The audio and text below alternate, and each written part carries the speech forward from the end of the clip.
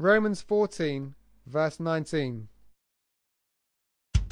Let us therefore make every effort to do what leads to peace and